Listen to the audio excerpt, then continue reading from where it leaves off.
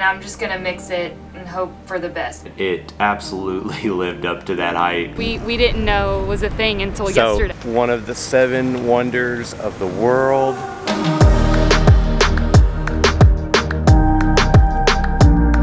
We just had the Maritozzo from Bar San Calisto, which is was featured on Stanley Tucci's Searching for Italy. You had to ask for it. We walked in and we're like, oh, I don't see them. They had to make them. Uh, they just grab the buns and then add the whipped cream. Um, and I don't know if you could tell in the pictures, I didn't realize this from what I'd heard about it, is that the bun is iced. yes, Um, and that sugar is what makes it so good. it was really good. Good way to start the day. Yeah, we're about to leave Trastevere for the first time since we really got here and head over the Tiber. I've heard that lifelong Trasteverians will take pride in the fact that they've never crossed the river into the other side, so we're about to break that.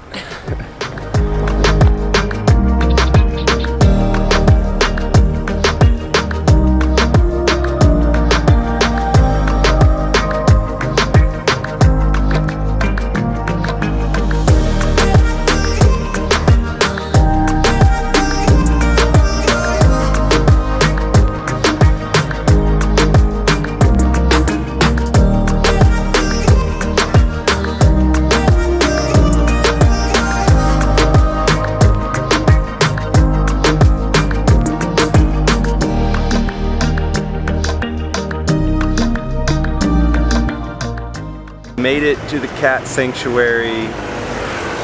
It is basically a cat safari. You just walk around the site and try to spot the kitties. Oh, and if you do come here, there are signs posted everywhere. Do not feed the cats.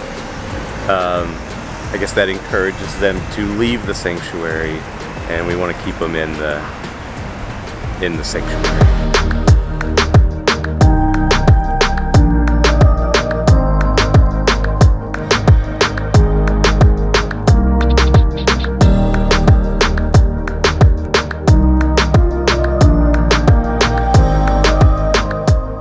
We've finished our tour of the Colosseum. It was about a Three and a three and a three half- hour, three hour. three hour tour. Three hour tour, a three hour tour. I think a lot of things were different today for us because there was some restoration projects that were taking place.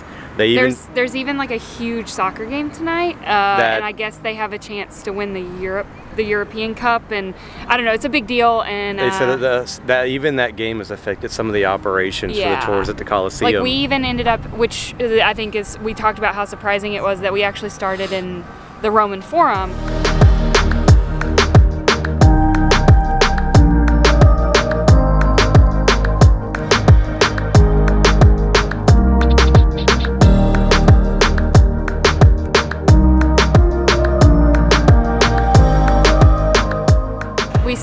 About an hour and a half in the Roman Forum.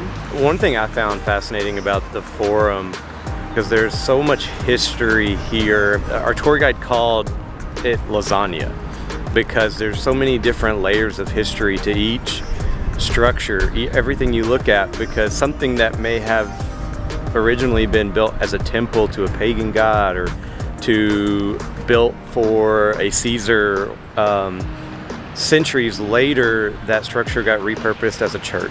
What was great was our tour guide. She uh, she definitely had been around the block a few times. I think she said she'd been doing it for like 16 years, or I mean, she it was impressive, like what all um, like degrees and master's degree that she had. But anyway, she related a lot of stuff to movies and especially Gladiator. Yes. So honestly, highly recommend watching Gladiator before you come if you've never seen it. Are you not entertained?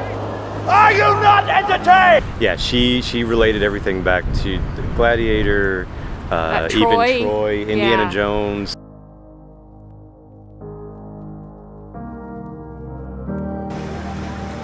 Ladies and gentlemen, one of the seven wonders of the world, the Colosseum.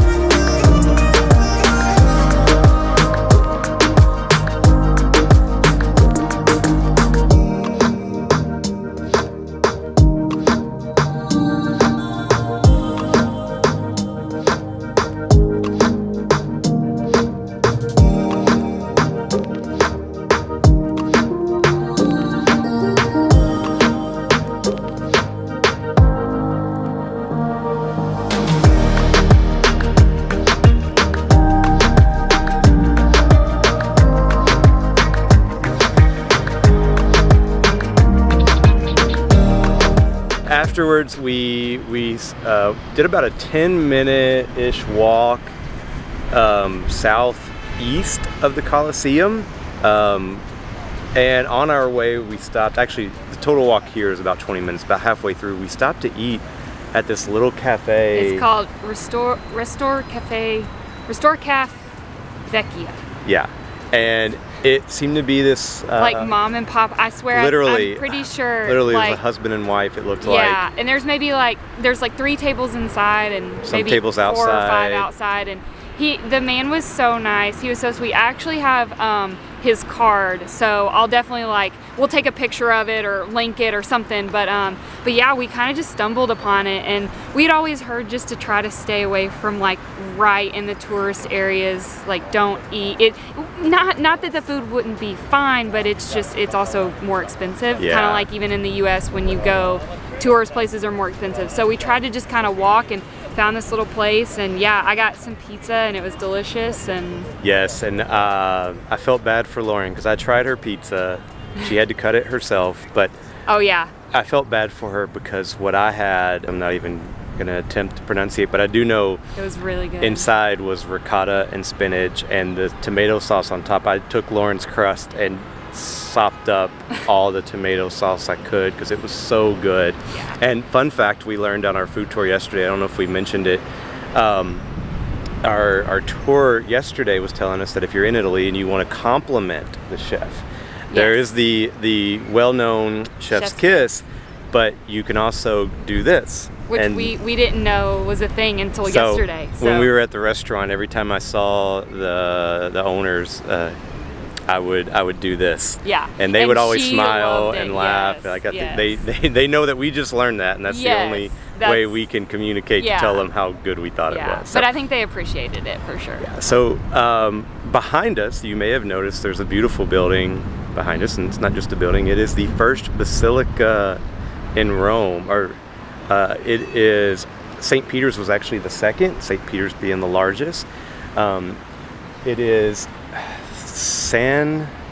I'm gonna get this wrong. It, it I know it, it's the Archbasilica of St. John, and if you look on Google Maps, if you're trying to find it, it's Basilica di San Giovanni in Laterano. Um, the church was originally dedicated to Christ, and then it was then dedicated to John the Baptist and John the Apostle. Um, so uh, we are going to go check this place out. It's about again about a 20 minute walk southeast of the Colosseum. So we um, knocking out as much on the south side of Rome as we can. So we ventured down here as our next stop. It is the oldest public church in Rome and the oldest basilica in the Western world, and it was absolutely gorgeous. Just even before you step foot in the building, and then you go inside, and there's statues of the apostles.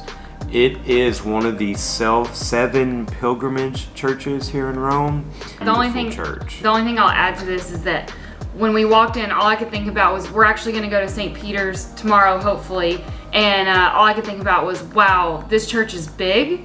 How big is St. Peter's really going to be? Yeah. Like, I just can't even, I can't even imagine. It, so it got us really excited uh, to go to the Vatican tomorrow.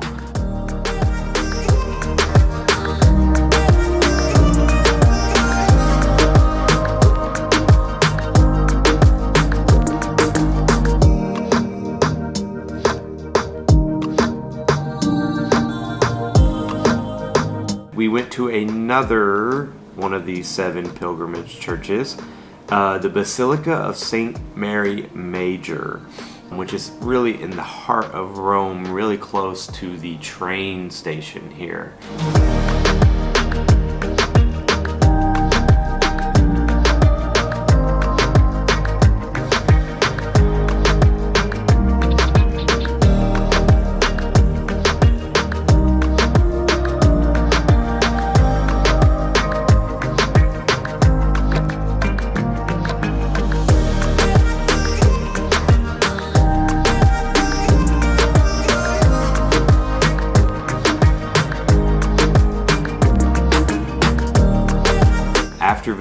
That church, we then walked about another 20 minutes north northeast towards uh, St. Mary of Victory, which is known for, it's a very small church, but it is known for Bernini's masterpiece, The Ecstasy of Teresa.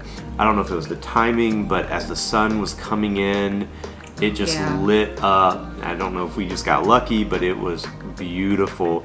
You may also know that church from the movie and book um, Angels and Demons. I've read the book, loved the movie, and and it was it was fun to just walk in and see like, oh, this was in a scene of a movie. We are back at our Airbnb. After all that walking, after all that sightseeing, it was time for gelato. And just five minutes down the road from St. Mary of Victory is La Romana.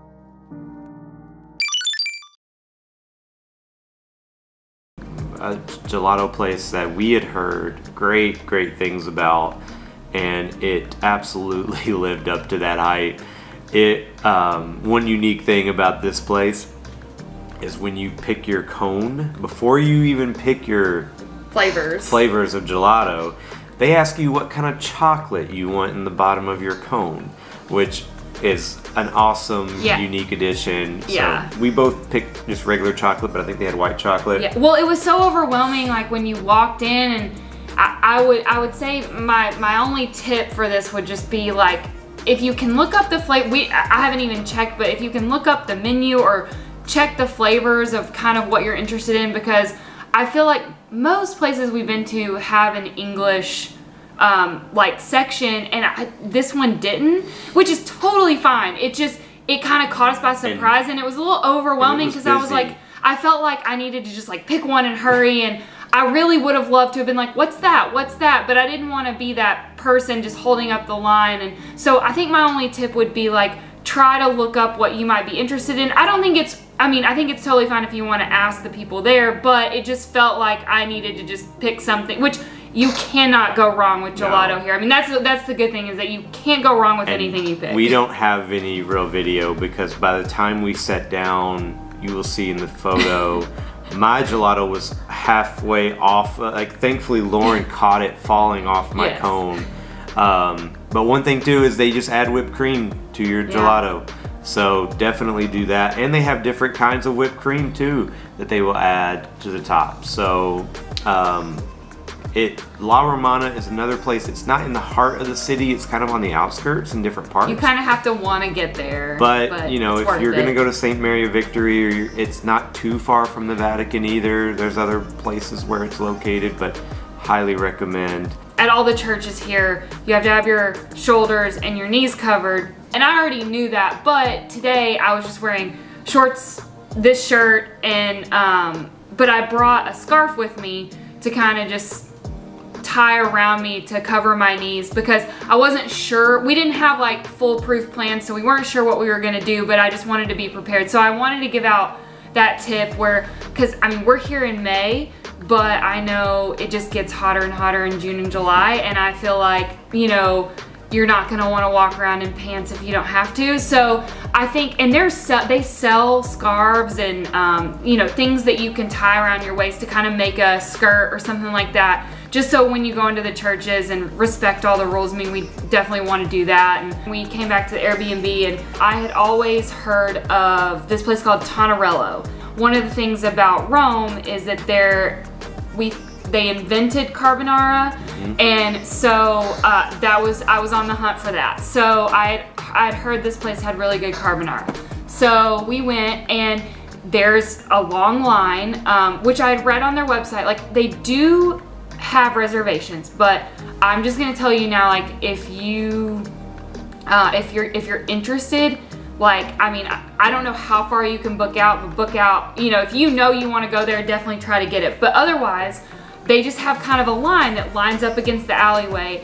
And i luckily we did not have to stand in line very long. It was a long line but the uh, i guess the hostess or the manager came by and was offering people to if you wanted to sit inside. And Yeah, apparently everybody that was in this line wanted to sit outside which sit i mean if you're here in this area like you definitely want to sit outside as much as you can. Like it's just a great way to people watch but, But the inside is huge. yes which i did not realize. And at that point, I was just like, well, I mean, we could just go and sit inside and we Just could go. carbonara. Yeah, so we got sat right away, which is great. So, so little tip: if you don't, if you if you do not have your heart set on And sitting outside, yeah, just uh, the, you know, you could even walk up to one of you know, walk in there and ask They have them. a they have a hostess desk. Just go up and tell them that you would take the first available. Yeah, and so we didn't really know. But anyway, so we didn't have to stand in line. So I don't know how long the line actually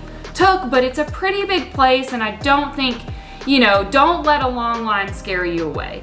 Um, so anyway, we got sat, and then um, we ordered bruschetta. We did not, we didn't bring our camera because we just didn't know how loud it was gonna be, and we missed the video opportunity of filming me eating anchovies, which I think is for the first time.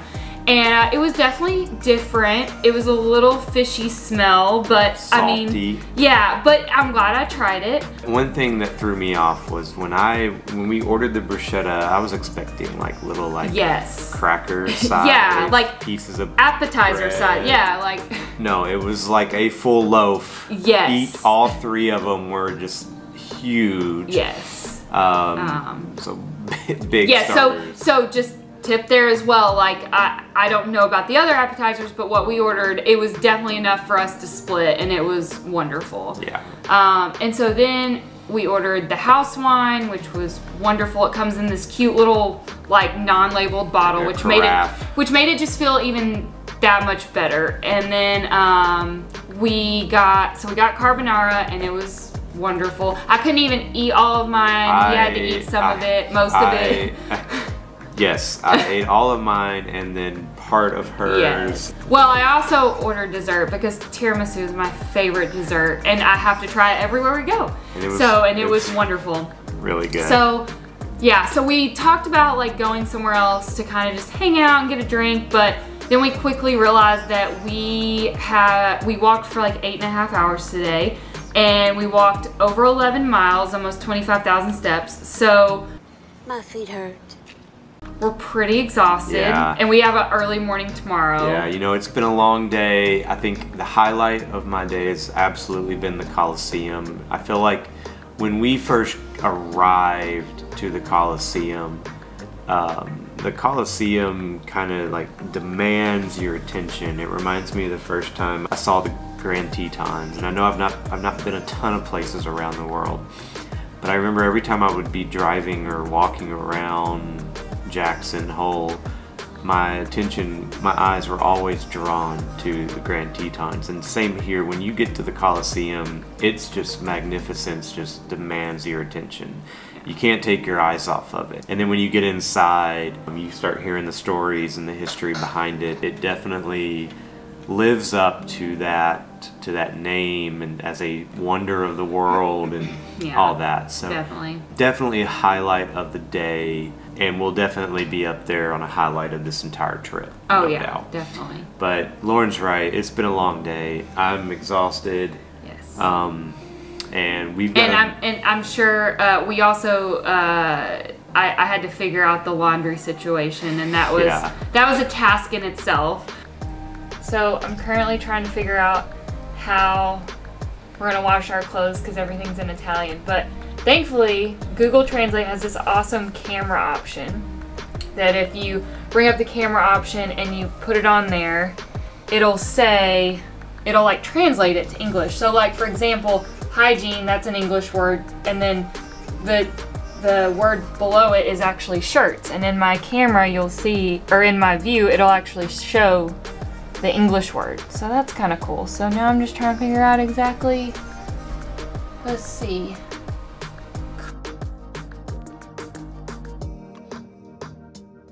I think I've got it figured out. So you put laundry detergent here. If you have fabric softener, it goes there. And then I think that is either bleach or if you wanted to do I feel like you could put more detergent in there and I can't remember why. I don't know. It doesn't matter. I don't need to worry about that. And then once I put that in there, I'm going to turn it to mix 40 because you can do cotton and synthetics or you can mix them both. And I'm just to mix it and hope for the best. And then I think I just press this button and I think everything will automatically work. like just it'll it'll go to the desired thing. So we're gonna let's test it out here. And it said in the video for like a normal load. Woo! Oh no. Oh. I can't see. I don't know. See, in the YouTube video, in the YouTube video, it was dry detergent. We're just gonna go with that. That that seems like a good amount. So hopefully they smell okay. All our clothes are clean and nothing happened to them. I think we're gonna call it an early night tonight. Get ready for another day tomorrow. Yes, because tomorrow we're going to the Vatican. Cannot wait. I'm very excited. I feel like it's going to be information overload, but in a good way. So, yeah. Um, well, with that, I think I'm going to bed. Yeah, me too. See y'all.